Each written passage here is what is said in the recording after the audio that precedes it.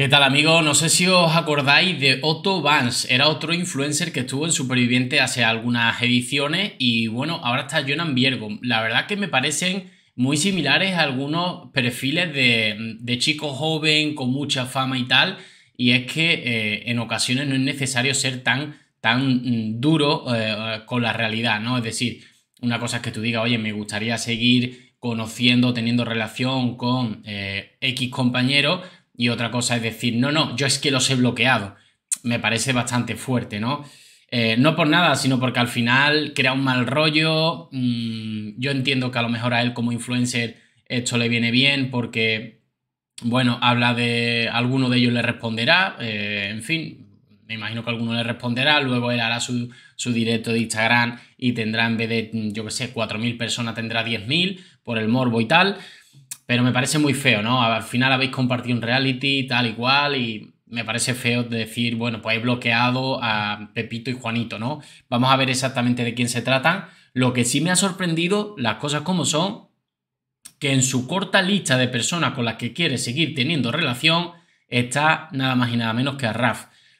Que bueno, no se lleva mm, últimamente demasiado bien con él, pero es cierto que el haber hecho ese final ya un poquito más like, eh, Adara también un poco más calmada con él, ha hecho que Jonan pues sí quiera seguir viendo a Raf. Me ha impresionado. Yo pensaba que estaba en su lista negra y por lo visto no. Parece que Jonan no lo ha bloqueado, no solo no lo ha bloqueado, sino que le gustaría seguir teniendo relación con él, ¿vale?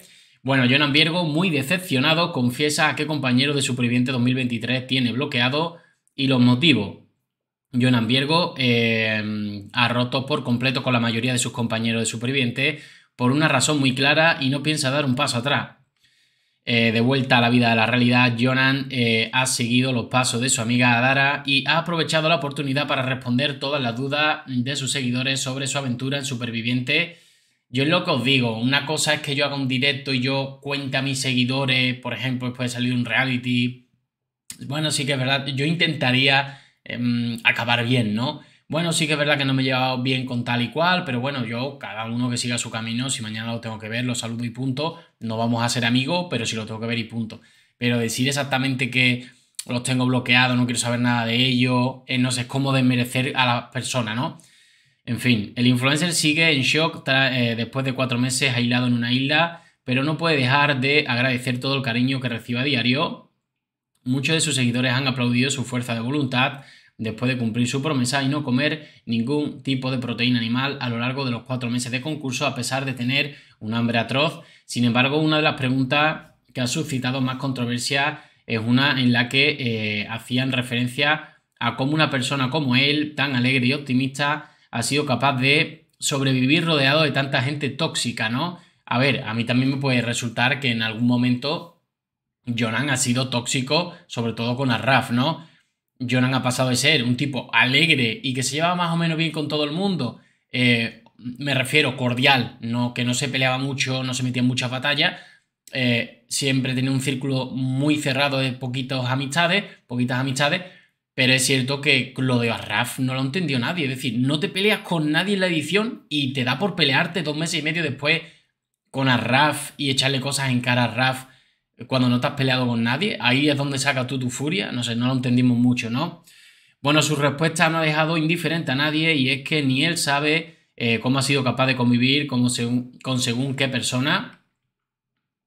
Tengo bloqueados a casi todos los concursantes, cito palabras textuales, animaba Jonan, eh, anunciaba Jonan sin titubeos, aunque el influencer no ha contado con grandes enemigos en la isla. Esto es lo curioso. Lo curioso es que realmente él no ha tenido disputa, él no ha tenido enemigo, él no ha tenido ningún concursante que hable mal de él, hacia las malas, de llevarse mal, de criticarlo a tope, no.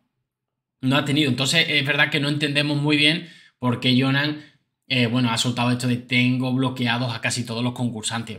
tanto como bloqueado, una cosa es que no te eh, lleves bien o no te quieras llevar, eh, bueno, no lo siga, pero bloquearlos, ¿no? Es demasiado.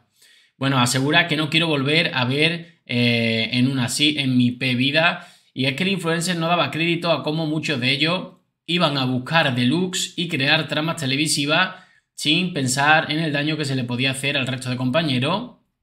Aquí sí que puedo estar de acuerdo con él en esto. Es decir, si él ha visto que él viene de otro mundo, de influencer, que una cosa es que le guste, eh, no sé, mostrar su vida y tal, y otra cosa es que le guste eh, inventar noticias a, razón de, de, tramas televisivas. Es verdad que ahí puedo llegar a entender y diga, mira, yo no quiero saber nada de estas personas que son demasiado televisivas, que están permanentemente vendiendo su vida y que van buscando, pero vamos, precisamente creo que se ha ido a juntar con Adara, una de las que mm, más hace eso, ¿no? Eh, lo hemos visto con Gianmarco, con Rodri y con todo el que se han cartado.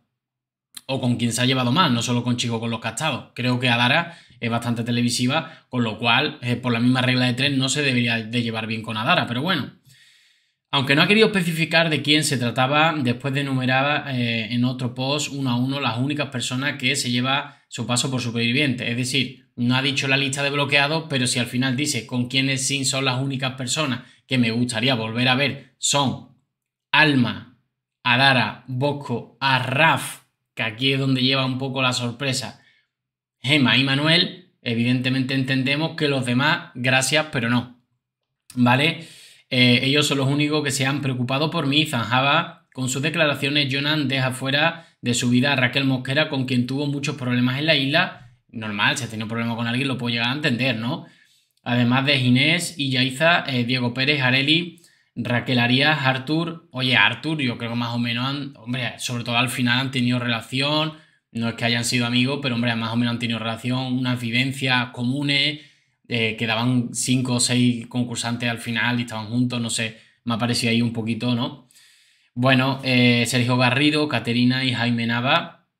Eh, ¿Tendrá realmente bloqueado a todos? ¿Cómo se lo habrán tomado los protagonistas? Entiendo que al final esto que ha hecho él, no sé si es porque no está acostumbrado, porque realmente es demasiado listo, lo hace para que, por ejemplo, que te digo yo, mm, ¿quién puede, quién puede explotar de aquí?